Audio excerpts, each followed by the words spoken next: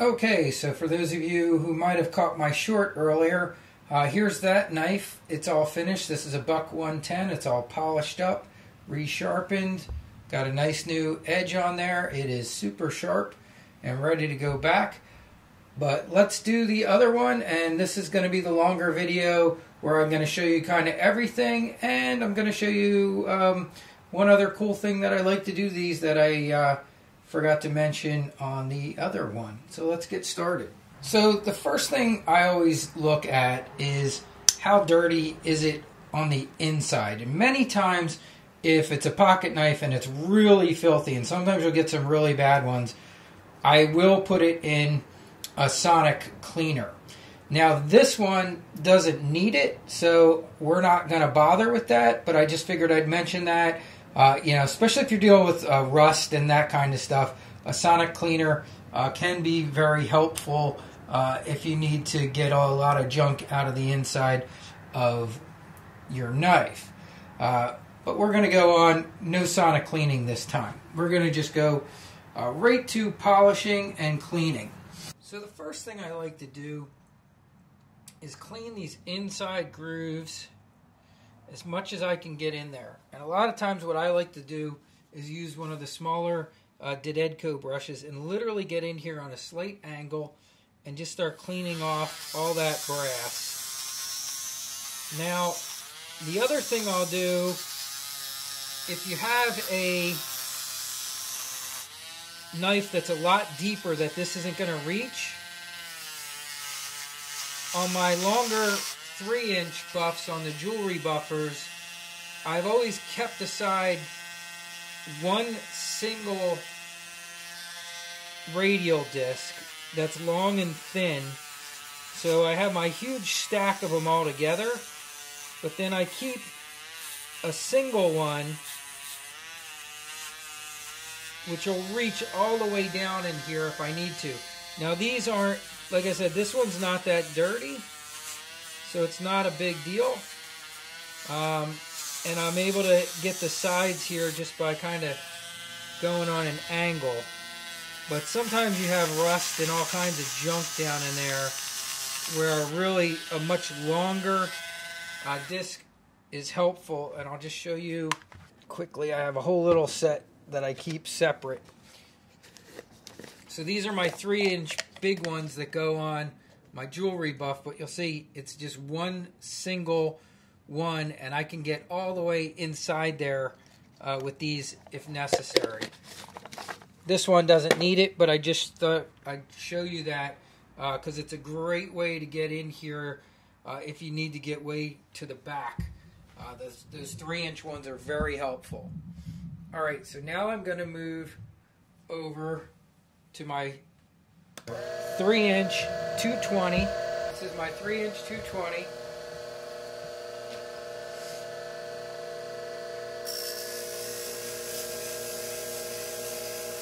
And he wanted the wood redone on these. So I am going to hit everything with this, including the wood. And then I'm going to refinish the wood.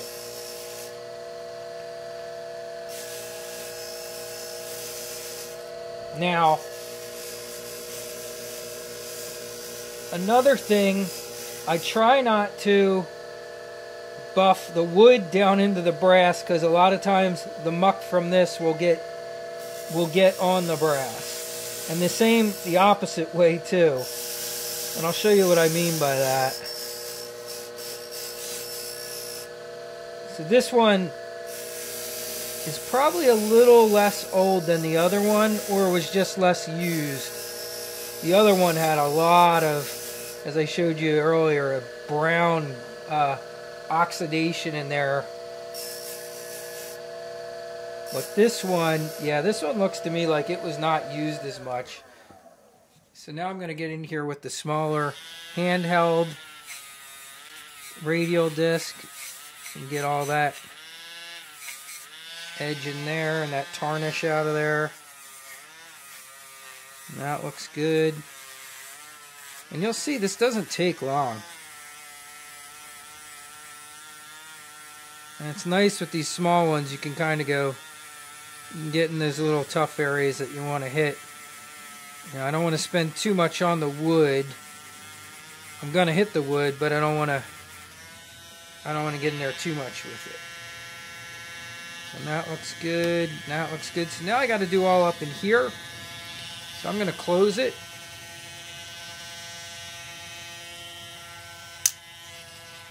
I'm going to go back to my regular radial buff.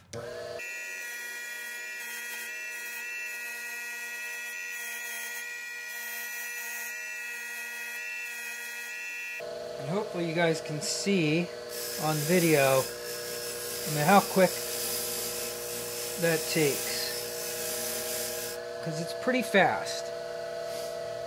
It does a really nice job of cleaning these up, and it's relatively quick. And the other thing which is great about it is it's really safe.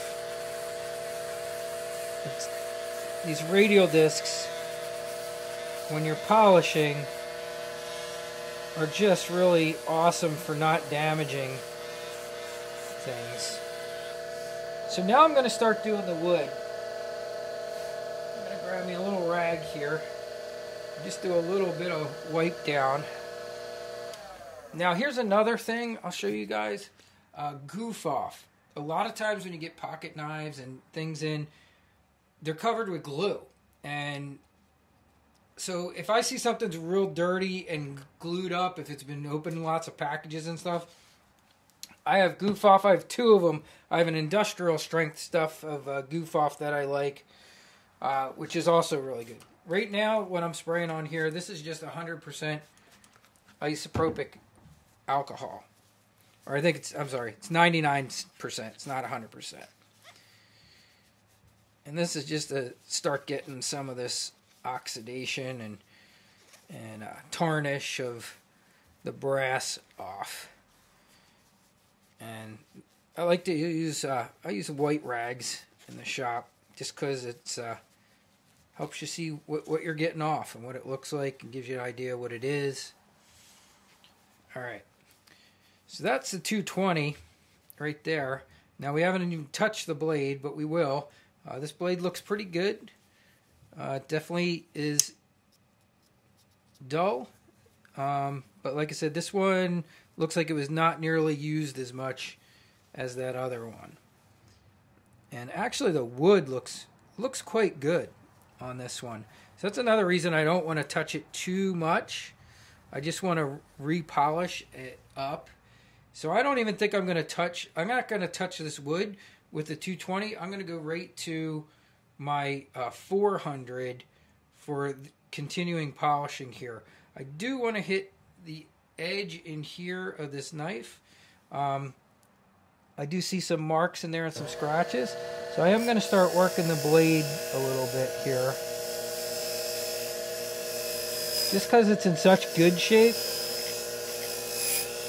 I'm just going to knock that out now.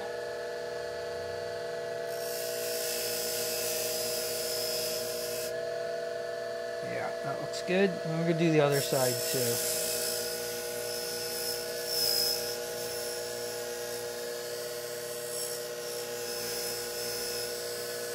And I always do, at least I try to. Sometimes, sometimes I forget and go out of order, but most of the time I do all appearance, polishing, all that kind of work. I like to do that first. And I sharpen last because you could dull your knife, you know, if you're not careful with polishing, it's possible to do a little dulling of, of a really sharp blade that you brought back really nice. So I try not to, I try not to do any of that after the fact. I like to do, I think, I mean, look, you can see how nice, this is already looking really great. So I'm just working on any little areas or lines or little tiny scratches I see, but in general, this one, this one was is going to be less work than that other one. That other one, even though you just used it on a short video, it, it took me about 45 minutes to do the full process on that. Okay.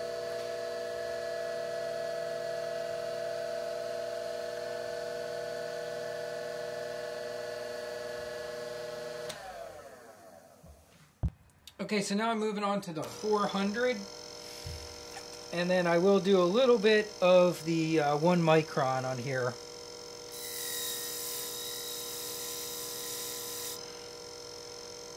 And this is where this is where you're really starting to polish. So 220 is not really polishing. It is it is uh, removes a li little more than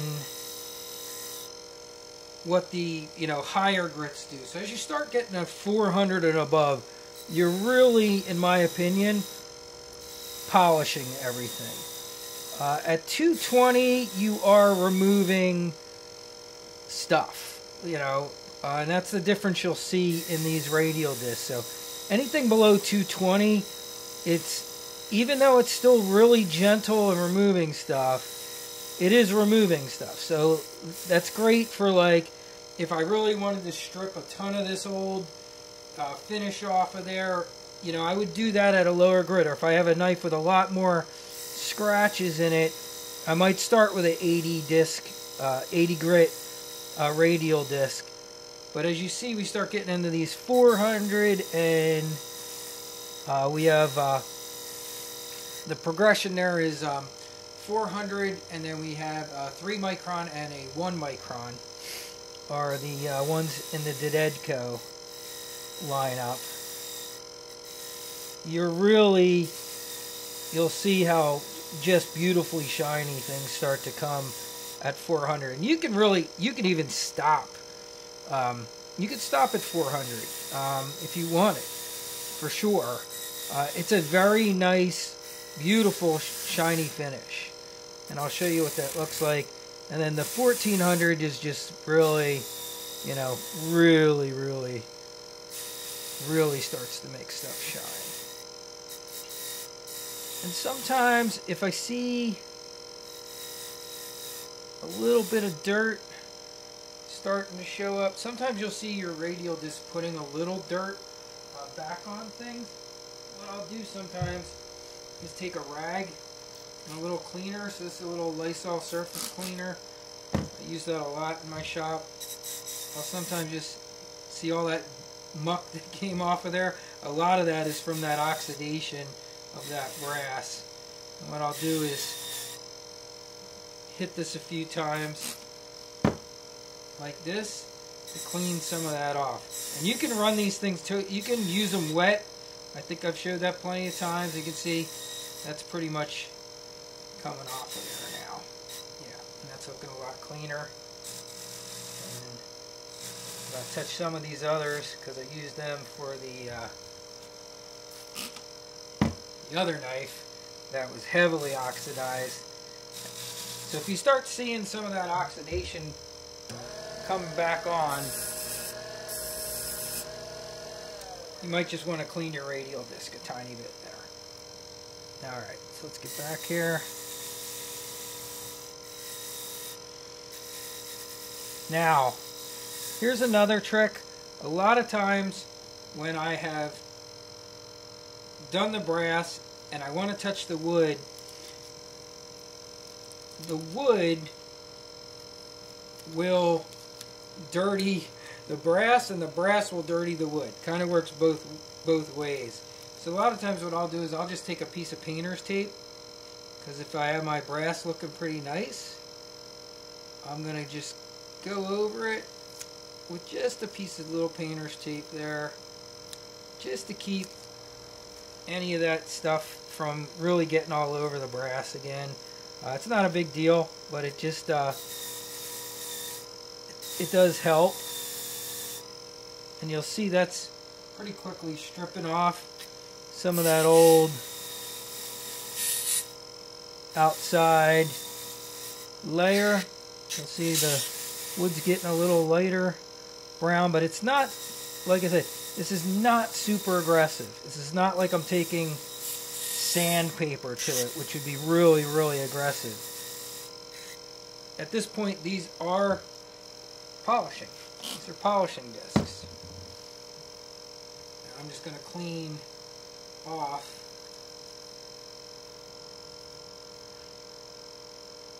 that stuff. And then I'm going to polish the wood with a wood polish. But I do like to, like I said, protect the brass a little bit just because otherwise you go back to dirtying this up and then the other one dirties the other one up. And I just find this works pretty good and it only takes a little bit of little second or two to put a little piece of tape on there. So it's just something I like to do. You can work without it. But, you know, if you start seeing, like I said, the the brass dirty in the wood, or vice versa, the wood, if it hasn't been, uh, if it's got a lot of old finish, and sometimes those old finishes get a little sticky, you might see that residue going on to the uh, the brass there. I'm just trying to make sure I'm hitting all that wood. Okay. So, it looks a lot smoother, you'll see there. A uh, little flat because we did uh, remove some of the that old finish. We're going to get most of that off. I'm pretty happy with that. So now I'm going to go and I'll show you how I polish the wood. So this is a, a, plastic and wood polish that I like. I have another one, big this big bar over here. It's a plastic and wood polish. I'm going to start with the pink one first. Uh, I like that uh, for starters, and then I like to finish with the more uh, yellow. It's not even really yellow. It's more of a cream colored one. Right now, that's just a rake I'm using there to clean off any old polish. So this is the the pink one. This one comes from Combat Abrasives. It'll probably last me the rest of my life. If you've seen the size of that bar, it is gigantic. So a lot of times I will open the knife when I'm doing the wood. Gives me something to hold it with.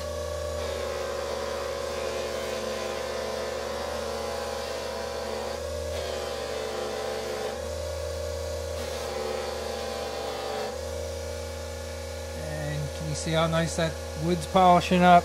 You can go both directions, but try and finish with your grain.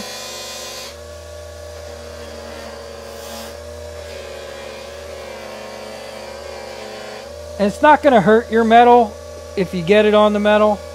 It will. It's it's a really high uh, grit polish, so it it it will actually. And I'll I'll just show you here what'll happen.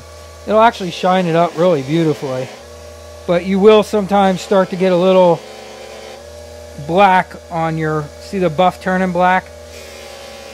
But you can really make those look great. But that black coming off of there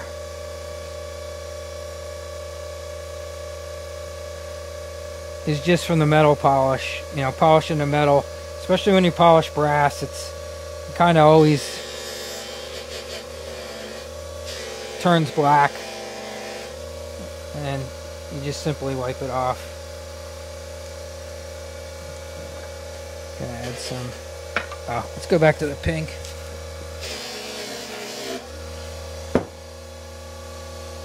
Do the other side.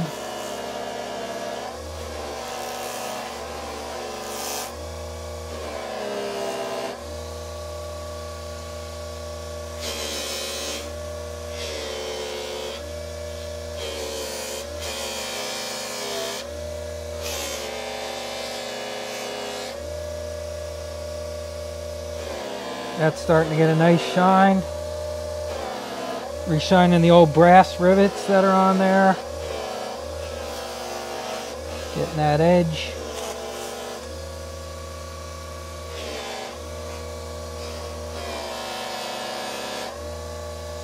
So you will start to see a little buildup where the metal and the brass meet. Just get in there with a rag, wipe it off. Alright, some just more wiping. And checking the overall general appearance. Everything I'm seeing here. Alright, and I'm I'm liking my wood. I'm happy with how that buffed out.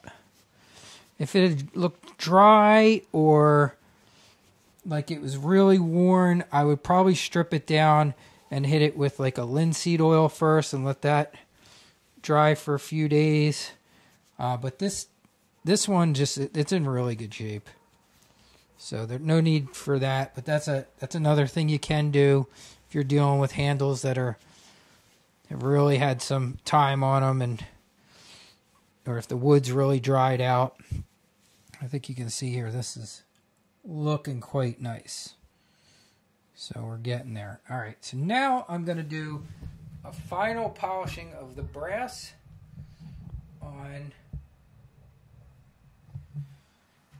my one micron, which is 14,000 grit.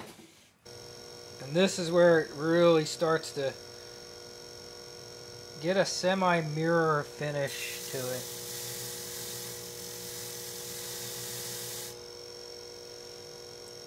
and I'll show you I just accidentally touched the the wood and you see what it did so I'm gonna have to repolish that so I'm gonna go right back over to my my wood polisher so I fixed that by just touching it on the wood polisher but this is where I said before it's it's not a bad idea to use some tape so now that I have the wood looking the way I wanted to, what I should have done, as I mentioned earlier, is put a little tape there. And then that way, I don't have to worry about hitting the wood and removing that polished finish. Alright. So I am done with the polishing of this knife. Well, we still didn't really do the blade, but honestly, I don't think the blade needs, I did a little bit, right? Yeah, it doesn't need much. Yes, there's a couple marks right here in the middle. If you guys can see that. There's a little tiny area there or something went across this blade. And right in here in the fingernail groove for opening the, uh, the knife could use a little work. So what I like to do with those, I like to get in that groove with a small one. I'm not worried about it's going to go against the the knife. It's almost going to look like it's scratching it. But what I'm doing is just cleaning that out. And then I'm going to fix that whole, what I just went across, because the grain pattern is going up and down. And I had to get in there, and you can see it put a little mark there. But it's not a big deal. Because I'm going to go, you can see I got that all cleaned out. It's nice and shiny. And now I'm going to, I'm going to go back to my 220 and repolish it. I didn't see those couple scratches before. I just want to get them out. Yeah, there we go. That's all You see? I got that all cleaned out in the middle. And I see a tiny little bit right there. I'm going to hit it a little, bit more.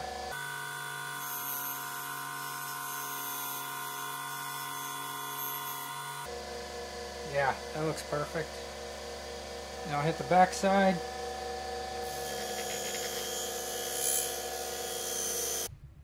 jump back to my 400.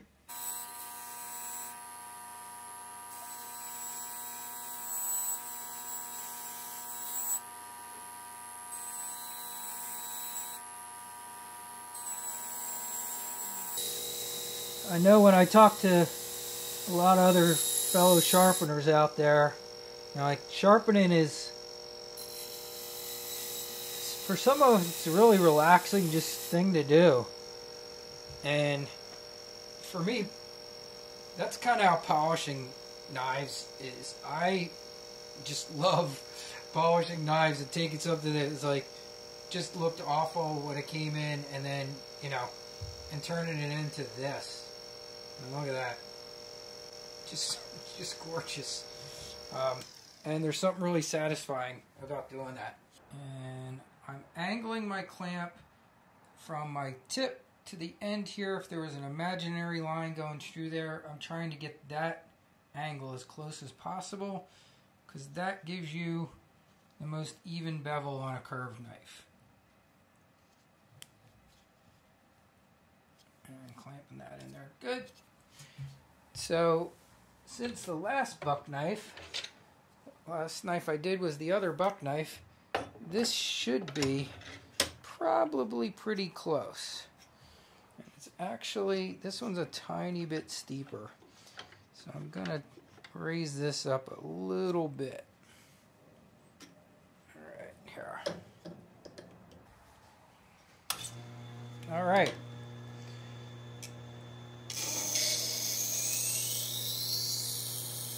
Very important that you are lifting and not turning the edge of the knife. Be careful not to angle like this way. You want to be lifting or you're going to grind out way too big of a bevel on the front of a buck knife. Okay? So I like to follow as straight a line as I can. And then when I get to my curve, I like to pull up. Just like that. And this is, like I said, this is a fairly aggressive stone, and you'll see I'm, I am slowly getting a very nice bevel. In there. We still need to hit a little bit there in the middle. And we also still haven't raised the burr, so there's a good bit to go there. But I like to check, especially when it's a refurbishing, that I have the bevel that I want, that I'm not grinding uh, too much away, that it's not in the wrong spot, that it's cutting a really nice, pretty new edge into that knife.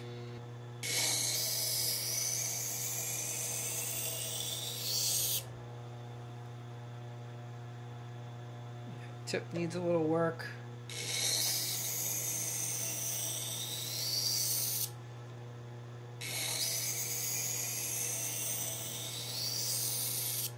So when you're working on a CBN wheel, which you can grind dry, you can see I'm starting to get a little metal build up there.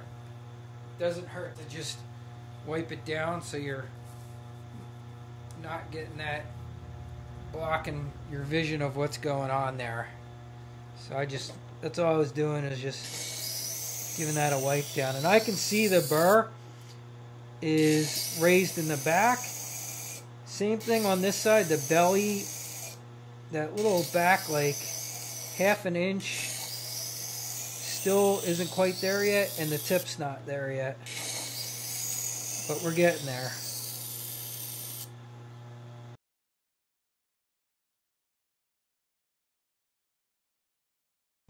Yeah, and that's and that's sharp too. this is 200 grit, uh, and like I say all the time in my other videos, you shouldn't be going up in grit unless it's cutting at that level.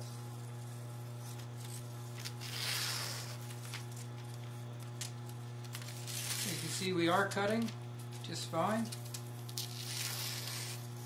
So we can go up to our 1000 grit now. So I'm going to go switch to my other wheel.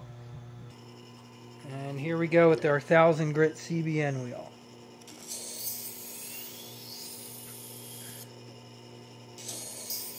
And this will really start to put an edge on here like we're all used to seeing on buck knives.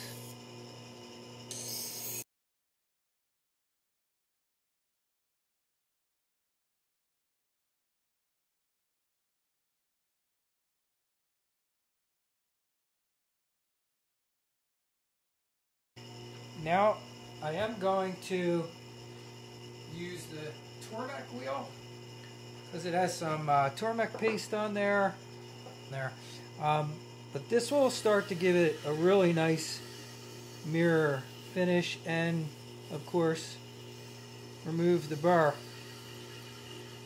And buck knives are are super easy to sharpen. They're a great metal, but they're also nice. They're soft nice soft metal, so they're easy to sharpen and and to put a beautiful edge on them. They get crazy sharp. I have the the very first knife I ever bought. I think I was 14 years old is a buck knife 110 and I still have it. I think I've shown it in other videos before. And before I really knew how to learned how to sharpen, it was one of those knives I I butchered as a kid trying to sharpen. And, uh, but, you know, I think we all go through that when we're a kid trying to sharpen something. We get our first knife and we're like, ah, I'm going to sharpen it. And, uh, not uncommon that we, uh, mess them up. Even for adults. I wouldn't have I wouldn't do what I do if it wasn't for people messing up the edge of knives a lot. So let's take a look here. You can see it's getting starting to get nice and shiny. Leather hone. So I'll bring you over there. And this here should really finish this off beautifully and make it pretty much razor sharp. And finish and even add to that mirrored edge look.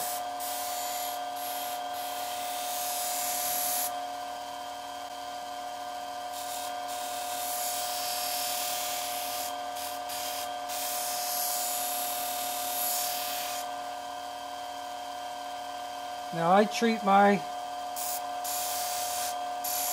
leather wheel usually with diamond spray that I make myself from Lapistry diamonds and alcohol but I have also used Tormek paste on it which works great. Uh, and um, I've tried gunny juice and lots of those other uh, products and things out there I just like to make my own diamond spray because it's far more affordable. I do not like rouges that you use like these stick rouges. I like them for polishing wood. I like them for polishing plastic. I do not,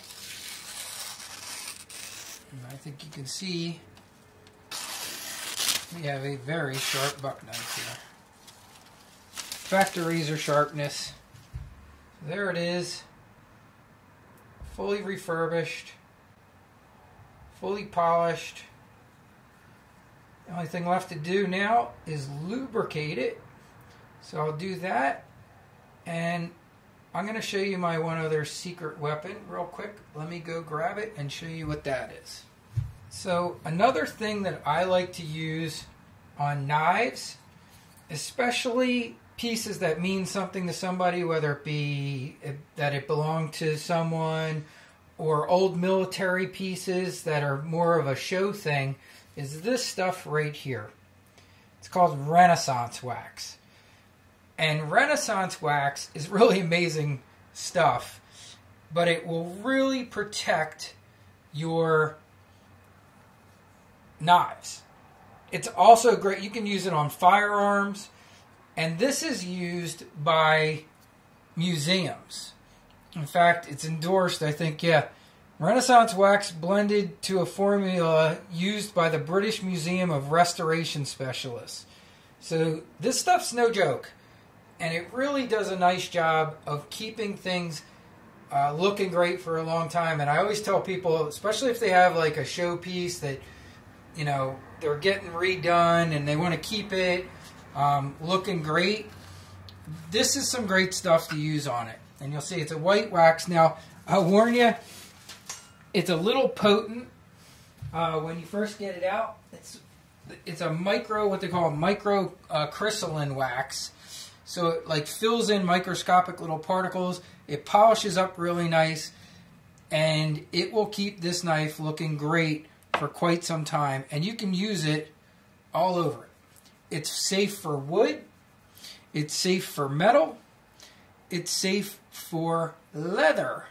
So you can even use it on sheaths and you just kind of put it on the whole thing and let it dry and it like I said when when I said it's potent you will smell it when you open the can uh, there's a lot of uh, something in there I guess to make it uh, evaporate I don't know exactly what the ingredients are um, but it goes away pretty fast and it actually, I actually like the smell of it, but so I will put this on the whole knife and then start buffing it out, uh, usually with a microfiber cloth.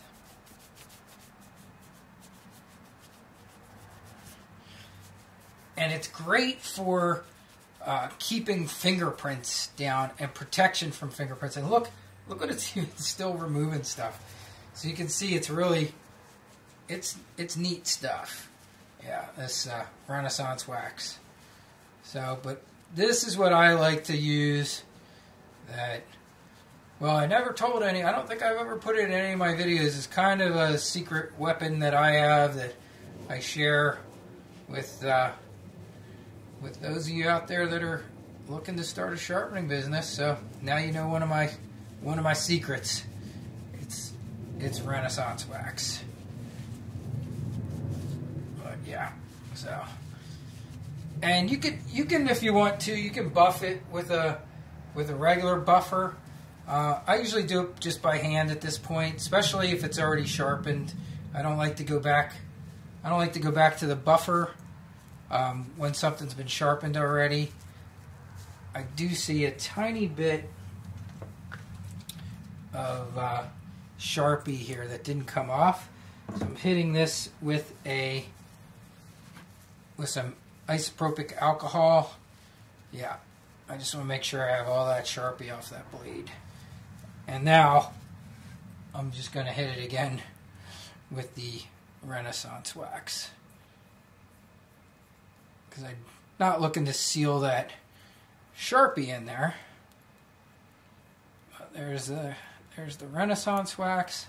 Yeah, I actually became aware of Renaissance wax from my photography work. I do, uh, as I've mentioned before, I do a lot of alternative photography, which is really old style photography, which is you know similar to like 1800 style uh, photography, and some of the uh, prints you need to seal the prints and you can use Renaissance wax for that. So, like I said, it's used heavily by the uh, museum, uh, the British museums, uh, for restoring things. They yeah, they even use it for restoring paintings and all kinds of stuff.